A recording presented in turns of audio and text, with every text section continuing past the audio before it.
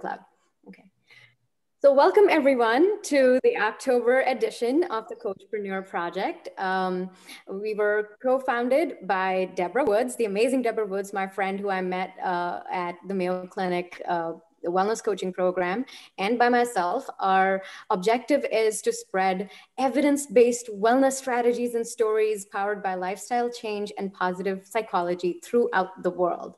And, and this amazing group that we have gathered here today indeed represents most uh, parts of the world, uh, I would like to believe. Um, between Debra and I, we have long years of cumulative um, corporate healthcare, medical devices, foods and beverage research and education experience. And most of all, we're very passionate about bringing creative, community-based projects to life. And uh, we, we thank the team at the Mayo Clinic to actually, uh, you know, be our cheerleader and, and to help encourage us uh, to create this platform uh, the way it is shaping up at this point. Thank you so much, Jamie, who's also with us today. We're so glad to have you and your support. So uh, here's how the agenda is going to look like. Um, we'll very quickly get into our expert session. Um, today's topic is, as you guys all know, create a powerhouse small group wellness coaching program for yourself and your clients. And our expert is Annalise Evenson. Um, and uh, I, I, welcome you, Annalise. Uh, we'll hear a little bit more about Annalise and her work and experience from Debra. And um, I encourage you to please uh, you know write your questions in the chat box and we will try to get to as many questions as possible either during if it's very urgent or uh, right after um, you know debra and annalise have um, you know finished the session. So with that said i'm not gonna um, take any longer. I, am handing you over debra so you can uh, tell us a little bit more about uh, our expert Sure. So before I dive in and tell you about Annalise Evenson, I want to share with you a few months ago, I was not a group wellness coach. I had fantastic training from Mayo Clinic and have loved working one on one with clients. But for me, I felt like I want to work more with groups. What's the next step for me? And it was to take the training. And so this summer I did, and has broken doors open for me in terms of enriching my practice and working with groups, but also opening the doors in terms of working with organizations, working with companies, working with school systems, and supporting them in wellness in these pandemic times and beyond. So it's made a tremendous difference for me. So that's one of the reasons I'm so excited to have Anna Lee Evanson in conversation with us today. And as Nivi said, if you have questions at any time, please put those in the chat box. If we can weave them into our conversation as Annalise and I talk together one-on-one initially, uh, we will answer those questions. If we don't have time, then we will do our best to answer them at the end of the session. So the reason we're here is to have a conversation with Annalise Evenson today. I want to take just a moment to introduce her introduce you to her as our coach, counselor, and educator expert. Annalise Evenson has been coaching for 20 years. She is a professional certified coach with the International Coach Federation, a registered ICF mentor coach, and a nationally board certified health and wellness coach with the National Board for Health and Wellness Coaching.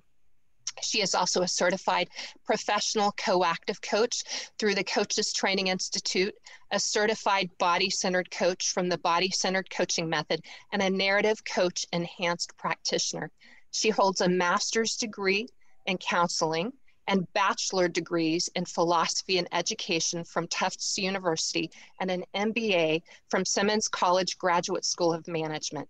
Annalise joined the faculty for Real Balance Global Wellness Services, Inc. in 2011 and created and launched their training program in group wellness coaching in 2014.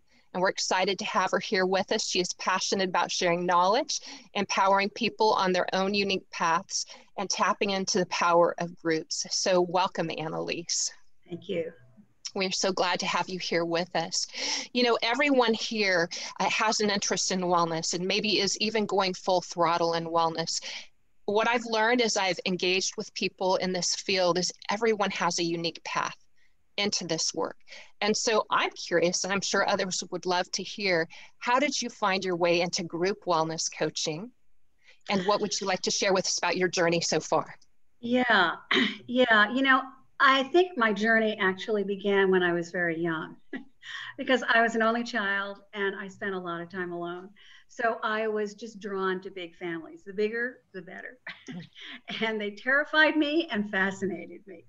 So, you know, I spent a lot of time kind of quietly observing. And I think I learned a lot about the power of observation and then slowly kind of feeling my way in.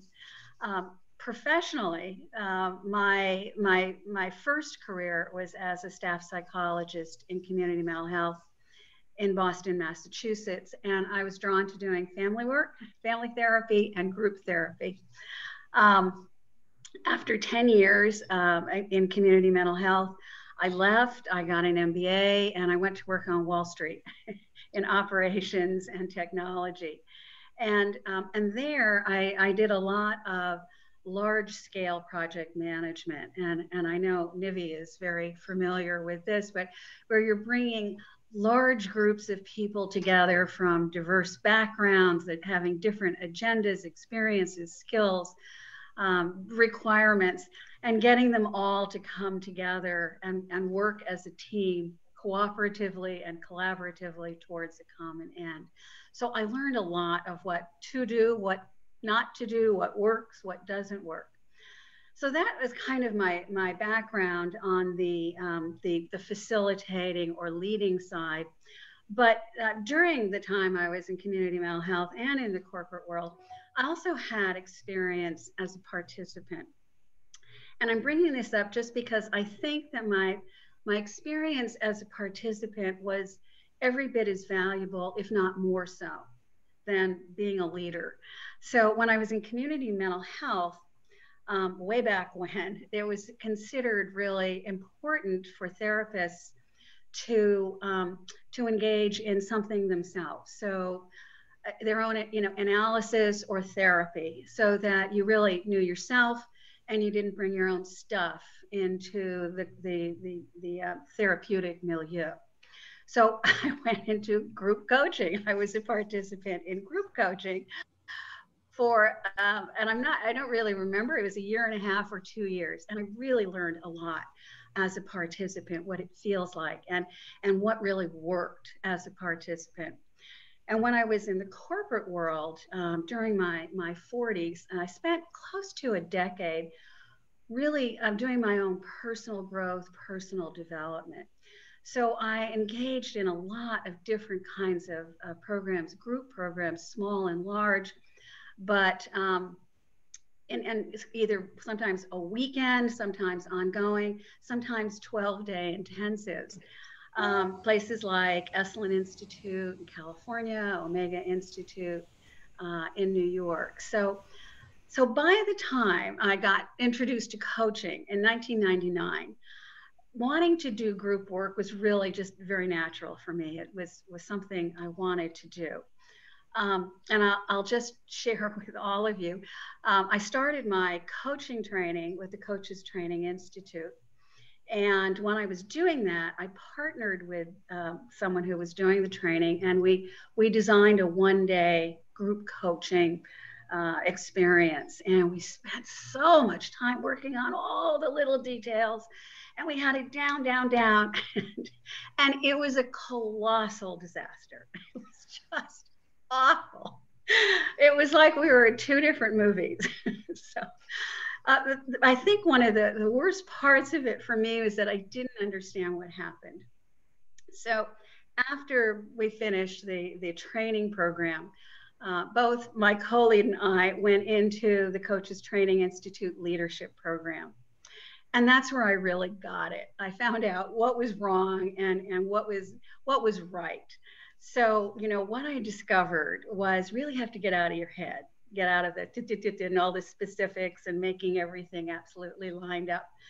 Um, and, and really learn to trust.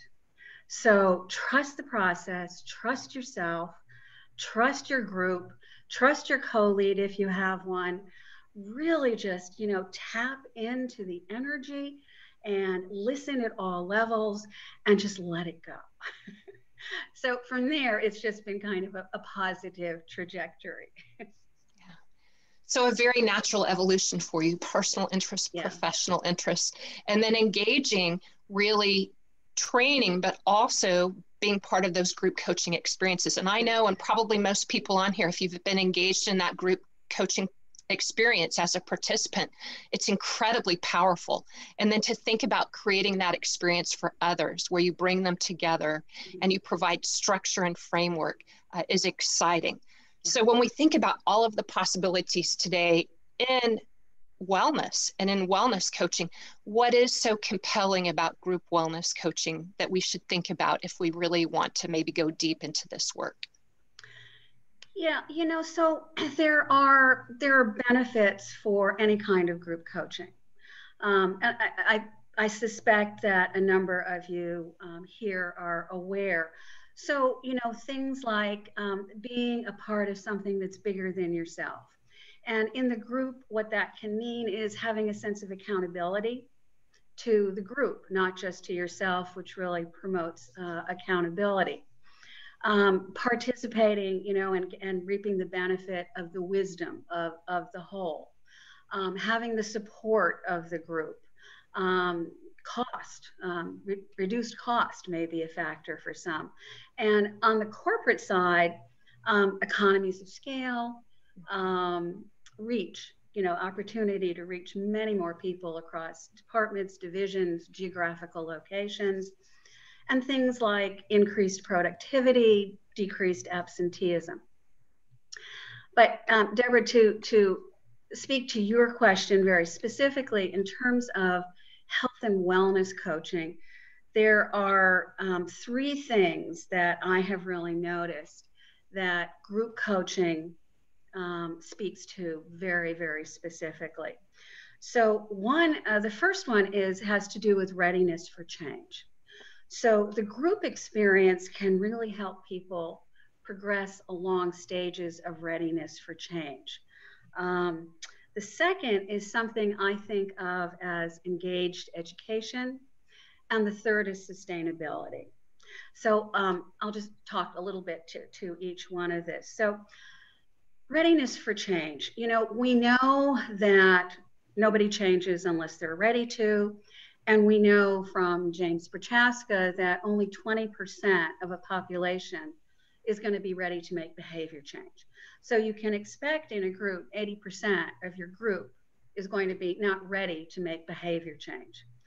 So the value of the group in helping people move through the early stages in one-on-one coaching, you know, the client is the focus. The, the whole spotlight is on the client. In group coaching, that isn't the case because the spotlight is shared. So in group coaching, the really resistant or really ambivalent client has an opportunity to kind of sit back and observe and just notice. So they'll start to notice things like, oh, that person's where I am. Oh, I'm, I'm not alone in this. Um, so a sense of relatedness starts to build. And then they'll notice things like, oh, oh, that person used to be where I am.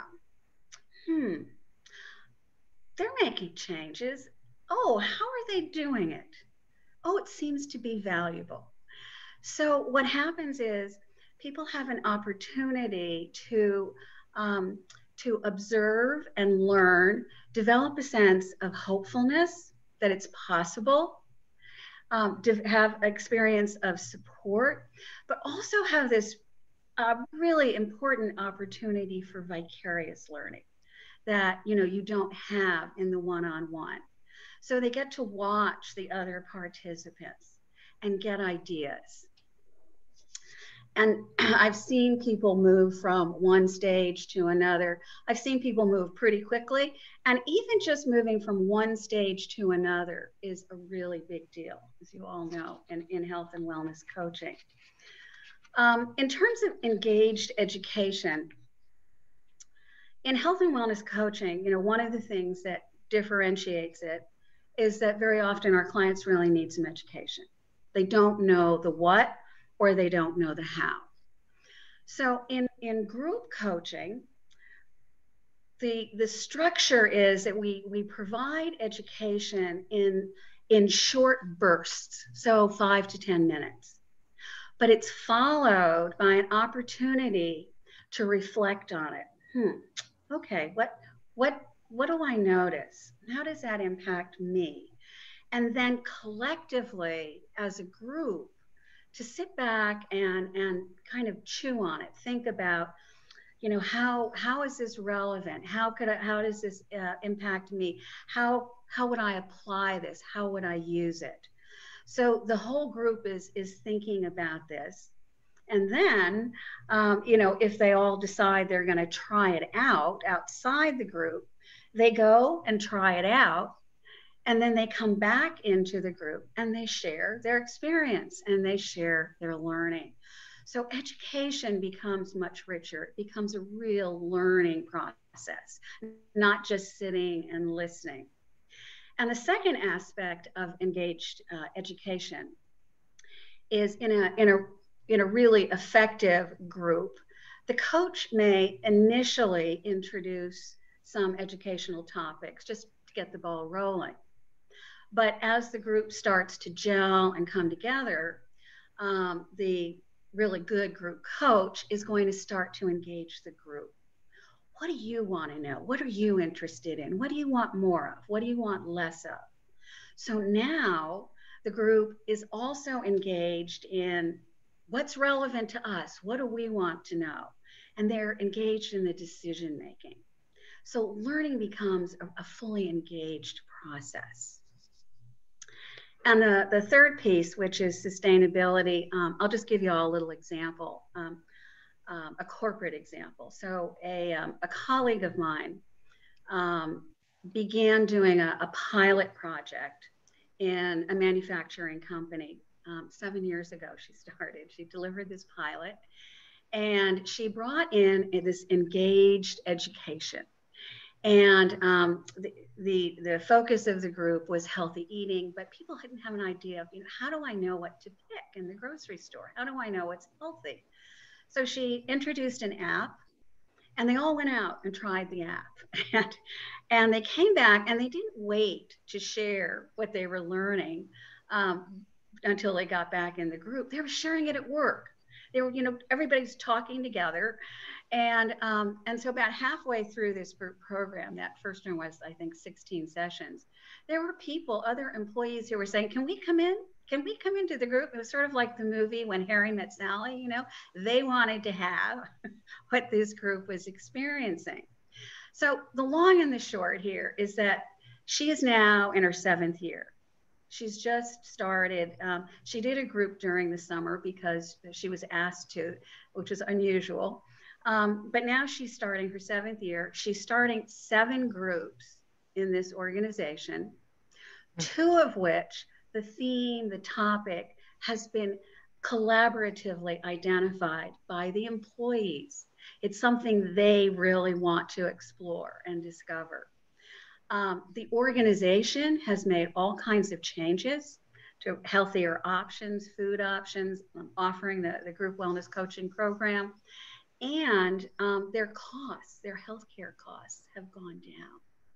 So in this organization, it, what's happened is it, it's really evolved into um, a culture of wellness, and there's just this tremendous sustainability, and this potential is just it's just out there. So thank you, Annalise. There's so many things to get excited about when I think about when we think together about group wellness coaching and the difference it can make. There's the relatedness, there's the engaged learning, vicariously learning from others, many things to love about it. And I think it probably resonates with most, if not all of us. So if we're excited, we're in, like, I want to do this, I want to engage in group wellness coaching. The next question I have is what are some of the important considerations mm. for designing a group program because it's different from one on one. What are your thoughts?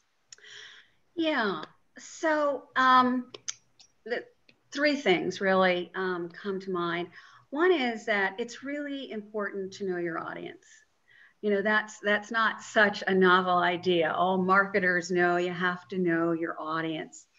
Um, but if you know your audience, if you know who they are, what they want, what they need, it's going to inform so many other aspects of the group.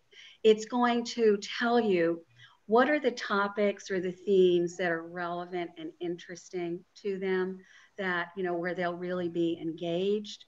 Um, it's going to tell you um, what kind of venue is going to work best for them in person or group or, or uh, remote. Um, you know, now we're, we're kind of in this pandemic, mostly remote, but wasn't always that way and it's not always going to be that way. And it can also really inform us about the structure. So, what's going to work best for this group? How many sessions? Uh, what's the frequency of the sessions? Session length? Um, so it's going to give us so much information just knowing who they are and, and what they want. Um, the other thing I think that's really important to know and understand um, the roles a, a, group coach plays. So there, a group coach wears three hats. So one hat is as a coach, one hat is a facilitator because this is a, a group experience. And the third hat is an educational hat.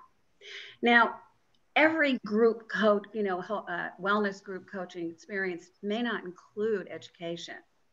But the reason you need to wear that educator or have that understanding is that you really need to understand how adults learn. What's, you know, what's going to make the experience the most productive. So understanding the, the, the roles, the hats, understanding how how they they blend and, and work together in a group um, is going to well first of all it's going to help you be an effective group coach but it's also going to help you understand where your strengths are you know what you're coming in with your strengths and what you need to develop um, or work on and then the, the, last thing i think that um, is really important to understand is um, how groups evolve you know, they go through some different stages of, of evolution. So, um, you know, in the beginning, people are a little shy, tentative, and then they can become a little contentious. But the, the, um, the intention of any group coach is to get the group to a point, you know, if, if, it's just a real, you know, one to four sessions, we're not talking about that kind of group. We're talking about one that goes on maybe 12 sessions. Um, the intention of the coach is to get the group to a place where they're they're really um, you know they're they're almost running it on their their own they're really uh, they've gelled they're working together they're working collaboratively they're they're they're coaching each other. And the role of the group uh, the coach actually starts to recede. So um, understanding the stages that group go, groups go through helps the coach um, get the group through each stage so that they can get to that really high performing place within the group so much to unpack in all of that. The first thing that you shared is really this idea of we have to know who our audience is. Mm-hmm. And I for sure have experienced that as I've worked with educators, with medical professionals, very different, right? Both facing certain stresses during the pandemic. But in providing the best service for them, we really have to understand who they are and what their needs are. So I think that's key. And then providing that structure and also watching how the group evolves and being aware of that. I know in the training that I did with you, we had 14 sessions with 10 people in our group. And it was really interesting to watch the evolution of the group over time. By the end, we had really gelled and taken on more and more. So I've experienced that for sure. And I'm sure others have as well. So, so I'm just I'm just noticing that you said um, I noticed the evolution of our group. it wasn't the class. So you really experienced a group, uh, a group, an essence of groupness in that class. Very much in a way that was personally and professionally enriching, a place to come together to be focused on wellness individually and then also professionally. So, so you know, I've bought in. I really believe in group coaching, and I believe that it is the future in terms of developing these cultures of wellness within our nation and our world that are so much needed right now. With that said, when you think about designing that group experience and you want to create the richest possible experience, what are some of the considerations for enriching that? So it's not just more time on Zoom with the Zoom fatigue or whatever the case may be. How do we make that the richest possible experience for participants? So, um, all coaching is essentially experiential and, and no different in, uh, in, in group coaching. And um, Jennifer Britton, some of you may know who she is. Um, she's really a leader in, in group and team coaching, not specifically health and wellness, but um, group and team coaching. And she talks about um, bringing in experiential exercises into group coaching um, as the backbone of any kind of uh, group program. So coaching is essentially experiential. It, there's a, a, a, cycle. You know, people take action, they experience something. Then coaching uh, ensures that we come back and we have an opportunity to really reflect on it. And, and then once we noticed, you know, what, what did, how did this experience impact me? What am I noticing? Then there's an opportunity to step back and um, and, and evaluate and assess what's the relevance for me? How can I use this? And then what's the next step? And so that, that cycle continues. And uh, we can bring that into the group. We can bring that experiential cycle into the group. So, um, you know, the, the experience may be a very personal experience, like a guided visualization, or it may be an interactive experience where you have two or three people uh, interacting together. Um, but in the group, again, you know, eh, these experiential uh, opportunities, again, short bursts, five to seven minutes, and then the opportunity to come back and reflect, and then the group collectively to assess uh, what, what does this mean? What's the value? And then, hmm, how can I apply this? So taking it outside the group experience, trying something out, having an experience, coming back into the group and sharing again. So, um, so the the um, experiential component is, you know, it's it's it's what coaching is, and we can have it contained within the group, and and you know have it uh, outside, outside and coming back in really critical piece, I think, of um, group process. I agree. And, you know, when we think about creating rich experiences, we can each develop these toolkits of all these possibilities. So when you're designing that group experience, you can pull this out and that out. And last Saturday, uh, inspired by, um, you know, this whole idea of enriching the experience, I was working with educators in Wyoming and it was three hours, guys, on a Saturday afternoon. And we know educators are just working nonstop right now. And probably the last place they wanted to be was in this session, but we had so much fun. And one of the things we did to enrich it was three minutes of dancing to some pop music. Turn your camera off, let's dance. And then we came back and sort of um, processed that together.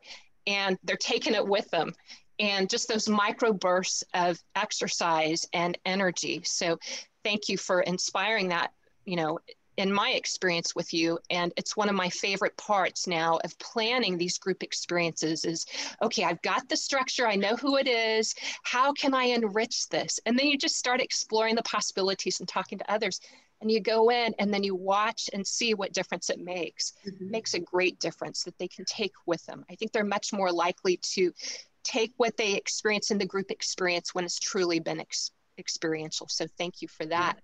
Yeah. So everyone knows here we are together. Uh, we have gone virtual as never before in our world.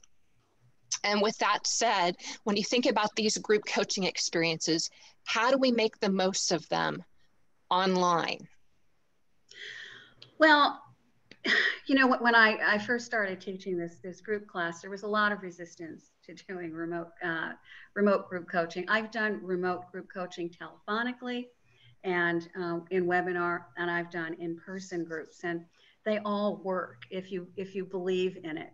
But I think that necessity is the mother of invention, and um, you know, we're, we're in a time where people really have had to go uh, remote. So, um, previous resistance to, to, to learning, um, you know, for coaches, that kind of that resistance has really uh, shifted, but for everybody, for our audiences too. You know, I, I have heard people say, oh, you know, I can't work with a senior audience because they don't use technology. Well, they all do now, you know, if they want to see their grandkids. so everybody is getting used to using technology.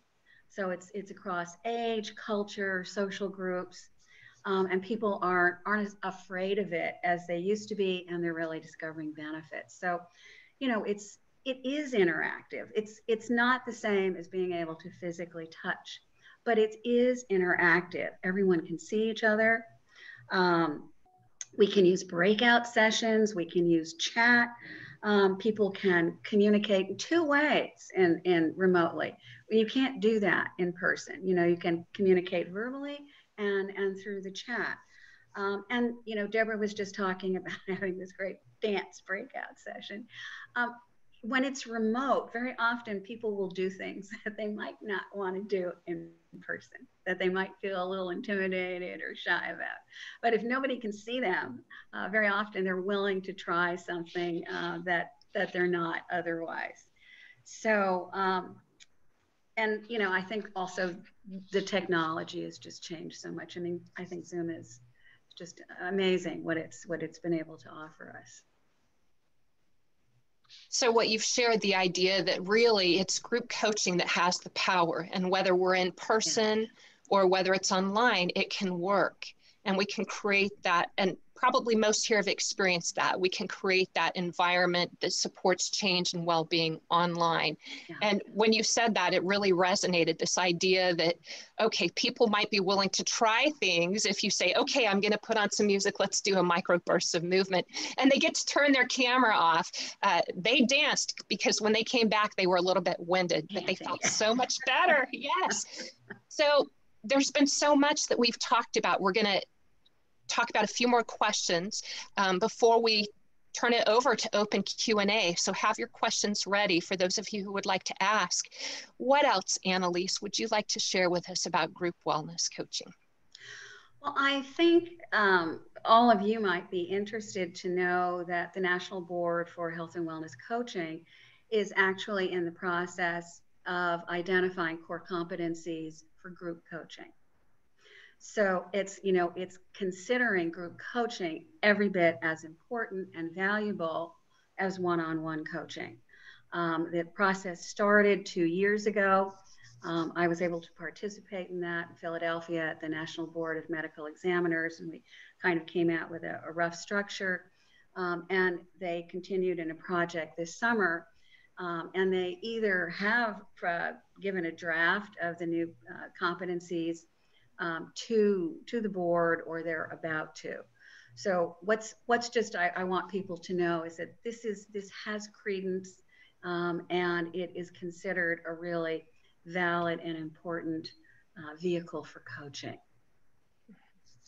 And I'm excited to see that, to see when it comes out, to really understand what are the competencies and what's kind of the framework for group coaching. I think it can do a lot to help us stay clear on things and to inform our practices. So, with all of that said, when you think about the future mm-hmm. of wellness coaching, and in particular, group wellness coaching, what are your hopes and dreams, Annalise? Well, I'm passionate about this. So my vision is um, is threefold. Um, I want to see it grow and expand. So I want to see it continue to grow in the sectors where it already is. I want to see it expand into new sectors. I want it in corporate, nonprofit, education, medical, government, and Main Street. You know, I want it everywhere, and I want it to um, to reach everybody. I would like to see many more people have the opportunity to experience and benefit from from coaching because of you know group group coaching is is a more um, um, accessible and cost effective uh, means. So um, I, I, don't want it to just be for executives.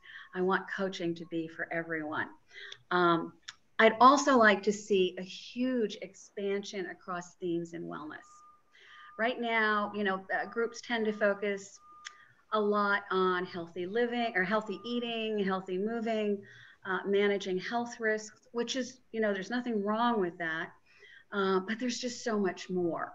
So, um, with COVID, a lot of coaches are now focusing on managing stress and um, helping people tap into their own inner resilience. But, you know, if we think about John Travis back in the 70s in his wellness inventory, identified 12 dimensions of wellness.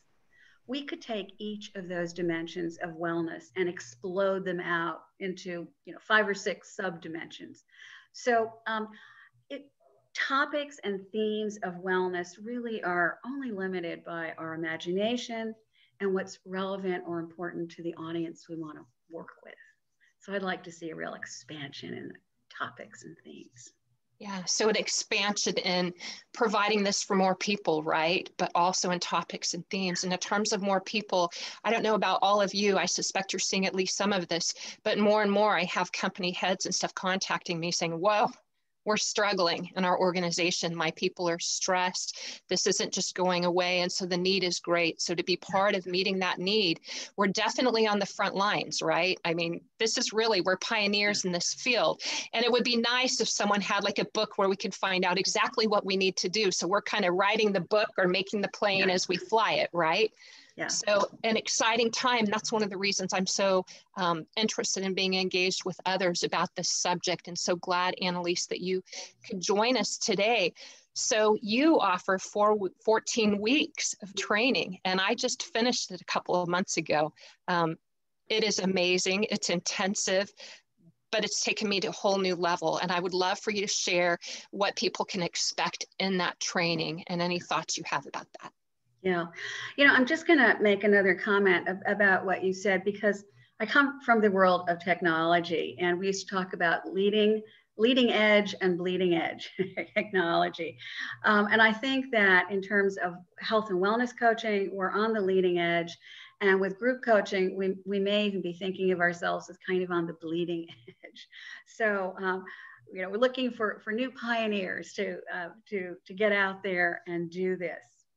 My program um, is designed to emulate group process as much as possible within the context of a class.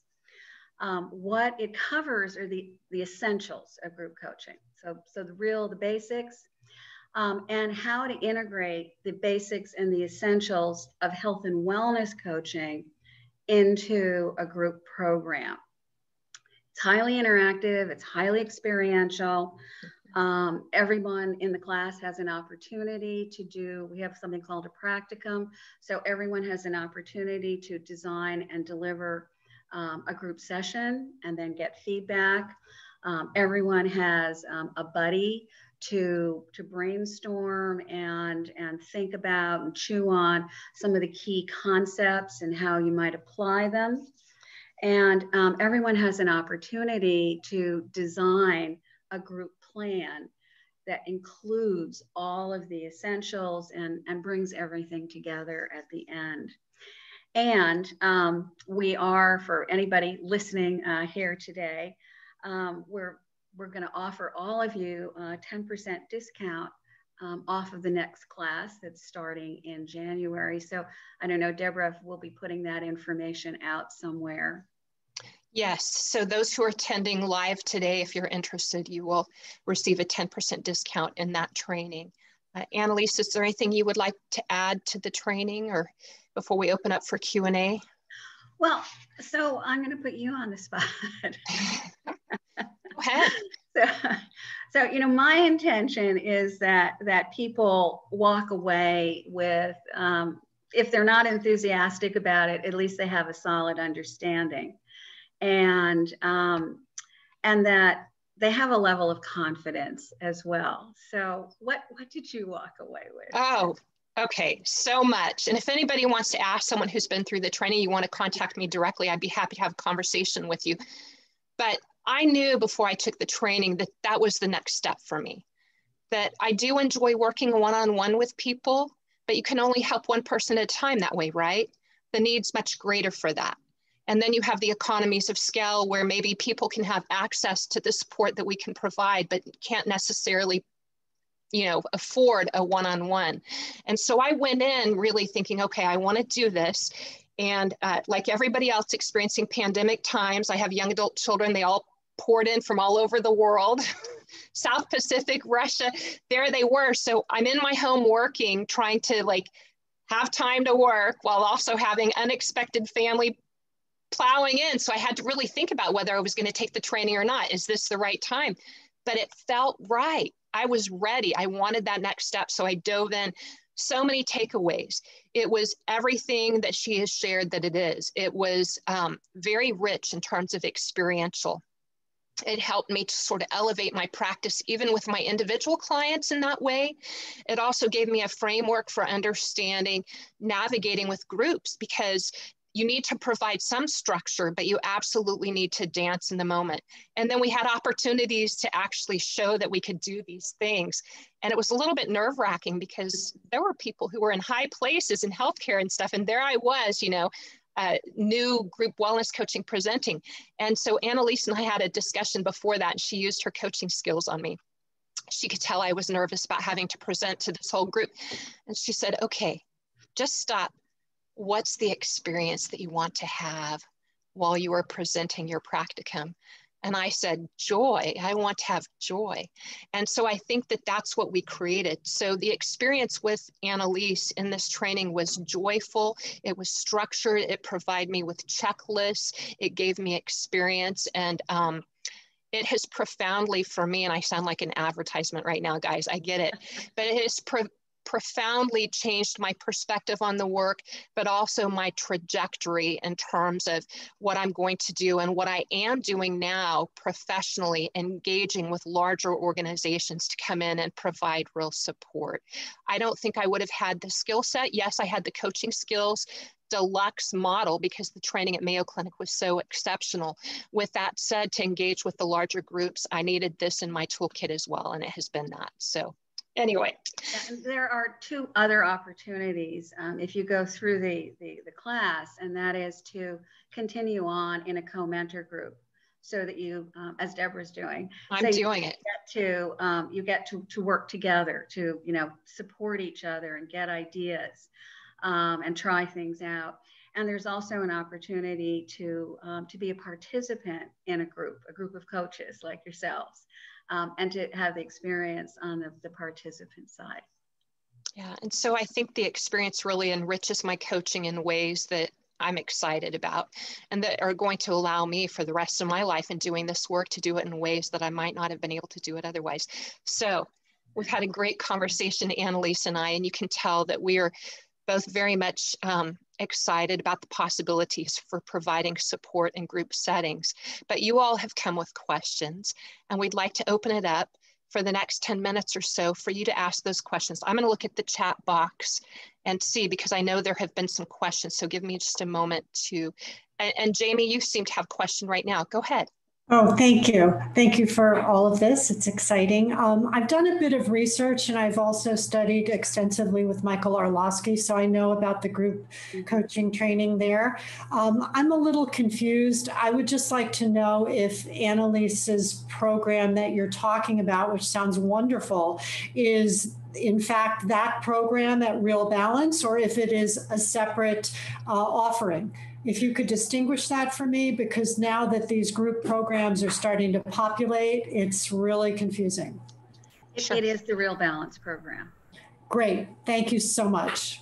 And Thank one more quick question. Can you apply what you teach to groups that may not be uh, focused on the topics of health and wellness? You know, there, there's a body of, of essentials that apply to any kind of group coaching that you do.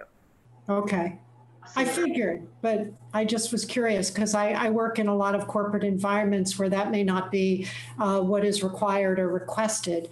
And well, so. And, you know, and don't forget, it, it doesn't have to be about eating and, and, and, and health risks. Yeah. You know, um, can be work-life balance. Of course, of course. Thank you so much. I'm really excited. Thank you. Great, great. Okay. And, and to add to what Annalisa shared about that, Jamie, I was contacted by a healthcare management company recently to come in and do some team building, which doesn't usually fall under my umbrella per se, but uh, all of the skills that I have, I was able to do that and had a lot of fun doing it. I, I tapped into the VIA via strengths mm-hmm. and uh, talked about that. And it was it was so much fun. I thought i'm going to do more of that. So another question is annalise how large can a group be? Is there a maximum number of participants that should make up a group? Yeah so i i adhere to the international coach federation standard there. So the smallest number is two and i have done groups with two and the largest, uh, according to um, ICF, is 15. I think that um, if, particularly if you're if you're not co-leading, um, you don't really want more than 10. I think around eight is kind of an ideal number, but um, you don't absolutely don't want more than 15. And, and you know, just you have to think about um, things like how how long are your sessions and are you going to give everybody an opportunity to you know to have their say and to to weigh in? Mm-hmm. sure. So another question we have is in a corporate setting how did the employer measure decreased medical claims within the group? I don't know if you have the example that i gave? Yeah um, actually I, I i i did have i have spoken with the cfo in that program and the reason they brought that coach in was because they were taking their um, health insurance in house. They had been told by three of the, the big health insurers that their costs were going to go up 25%. And that's, you know, this is a medium sized manufacturing company. So that was a big deal. So they wanted to take their insurance in house and they started this program. And after the first year, just the first year now, they're, you know, they're in the seventh year now but I, I did speak to the CFO and their health costs went down 40% at the end of the first year. Now, you know, he said it's not just because of, of the group program, but I know it has a big part to play. So I can tell you that the CFO said their, their healthcare costs went down 40%. So a potential reduction in healthcare costs. Uh, I have a question to kind of go along with that, Annalise. Do you have any thoughts on um, when we sort of pitch this to organizations and companies and say, here are the benefits, what are some of the benefits that they might look at to sign on for? Well, that's a really good question. And I don't think it's a cookie cutter answer. You know, I, I think that what you really need to do in an organization is understand who the organization is, what's important to them, because they're going to have different uh, different goals and and different uh, criteria, things they want to meet, than the participants in the group are going to have. But it's absolutely critical that the organization has buy-in and a sense of ownership. Um, so, you know, they, they may be interested in cost reduction, as this, this manufacturing company was. Um, they may be interested in economies of scale. So, you know, how do we reach a whole lot more people? We have divisions across the country. Um, they may be interested in um, in dealing with, you know, particular health risks that are rising that they're they're noticing in their uh, employee population. Um, but what's important is really taking the time to understand, you know, we're treating the organization as a client in the same way we're teaching every participant in the group as a client. Um, there was um, a, a, very powerful example of, of a coach who did a great job um, with women in a, in a big corporate company. The women were leaving um, in droves, particular because they, they weren't being promoted, and um, if they started families, they they were weren't being treated well, and so she did a group with the women to to help them um, identify kind of work-life balance and and how how to be in this milieu. And it was very successful but the the company had not bought into it. And so all the the you know the the the forward movement that they made in two years was almost completely wiped out when the company said oh we're not going to fund this anymore. So um, it's you know it's it's really finding out what's really important to them and getting buy-in yeah. So finding out what's important to them, getting that buy in, having those conversations. And I think you've shared with me recently, sometimes those conversations take time. You go mm-hmm. in, you talk to an organization, they may not immediately buy in, but you're sowing those seeds. And as I've conversed with organizational heads, they are starting to feel desperate to provide real support for their people and well-being and not just lip service. We're here for you. We want you to feel good. Let us know if you're struggling. No they really know that that's not working any longer. Yeah. and so just giving them a tangible opportunity with the work we do to provide that support whether it's a one-time presentation that's sort of group focused or ongoing group coaching. So yeah. thank you for for that uh, one final question before we move to wrap up, I think. Let me check and make sure I'm not missing something. Okay, so one final question. Someone has asked, will NBC HWC, so the National Board for Health and Wellness Coaching, will they be considering an additional uh, certification for group versus individual? Oh, I, I couldn't even begin to speak to, to that. Um, I, I don't even want to. right. So uh, my sense is probably not, but you know, but it, just having um, core competencies gives people a structure. I certainly hope not. One exam was enough, right? it was enough. It was. Um, so, but having those core competencies is really key because I think there's so much information about how best to conduct groups when you can look at a certain document online and you see this is what they're saying. And then, of course, you can tweak it and change it for your personal practice, but it's just key to helping us focus providing the best value of service for others. So, well, we are going to close the Q&A unless there's one final question that anyone has. Um, Yes, Martin. Yes, hi. Yeah. Uh, my question, can you hear me all right? Yeah. Okay, great. My question is one that I've asked everyone I've worked with because I struggle with it. And by way of background, I retired from the corporate world more, um, three years ago after spending more than 40 years. So I relate to a lot of what you're saying. Ran thousands and thousands of employees and executives in 17 countries around the world. The difference is it was a condition of employment to be in those groups whether it was voluntary or gee, was a chance to expand my learning, or it was a free lunch and a day away from the job. So people came to it. The question is, how do we get folks to be motivated to come to a group when it's not a condition of employment? And more specifically, going back to the Prochaska uh, stages of change, how do we deal with folks who are at pre-contemplation who or, or barely contemplation in terms of, because really the goal with any coaching session, having run so many groups, small, and I've run very large groups with multiple facilitators, it's about making personal behavior change. Mm-hmm. How do we do that when the folks are still way back at pre contemplation? Yeah, so I, I, think we don't have enough time, but I mean, I'd be happy to address it afterwards a little more. Um, you know, part of it is that the group really gives people an opportunity to sit back if they're in pre-contemplation or contemplation, and even in preparation. You know, so you get there forever oh. preparing people, so they, they don't want to step across the line into behavior change. Right. Um, so it gives them an opportunity to sit back and see what other people are doing and experiencing. Um, it takes the pressure off. So um, you know that's that's one way groups can really facilitate movement um, from one ch- uh, stage of change uh, to another. Um, another thing that's really important is, um, in my opinion, is that people, um, the point you're making, um, you know, we see a lot of incenting going on in corporations to participate in wellness programs. In my opinion, it's really important that um, it's it's the individual's decision to participate. Exactly.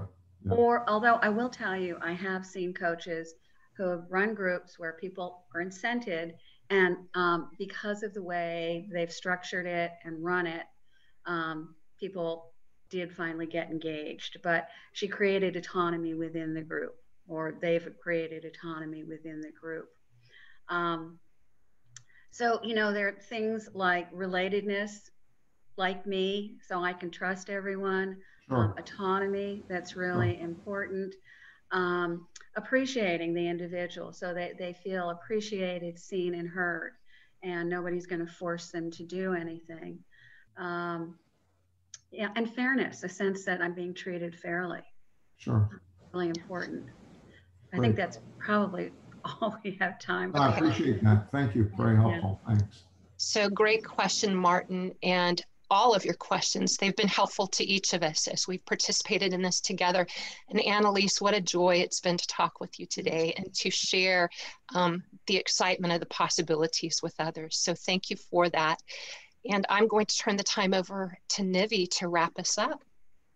Uh, thank you so much, Annalise, and thank you so much, Debra, uh, you know, for uh, curating and designing such a fantastic uh, session for us. Annalise, this has been very informative, um, extremely insightful, and I'm pretty sure that every single person who attended and uh, will be um, listening into the recording uh, will walk away enriched and, and very excited to explore your program that's coming up in January of next year. Um, uh, hey guys, uh, we have two minutes to go. The only thing that I will say is group coaching is here to stay whether it's healthcare whether it's uh, corporate context whether it's you know medicine not medicine um, anything whether it's team building etc um, we are going to be continuing with this uh, particular topic next month as well. And we will be joined uh, by jean storlie who uh, uh, you know was a vp at general mills. Uh, she has a corporate background uh, she, uh, you know, is a, uh, is a creative problem-solving expert. She's a senior trainer at CPSI, which is the Creative Problem Solving Conference. Uh, do check that out. Uh, and and she's written a book, and uh, she's going to be holding a raffle. And one of you guys, whoever joins, will have an opportunity to be able to take away this beautiful gem. This is all about business storytelling. And that session won't be in an interview format. It will be a 90 minutes hands-on workshop where you will get to look at how uh, you apply storytelling in, in a group setting or even in an individual setting, irrespective of whether you're discussing health or non-health related topics with your client or your clients. So with that said, I am going to say goodbye on behalf of the Coachpreneur Project. Annalise, thank you so very much again. Thank you. Thank you. You. Bye-bye.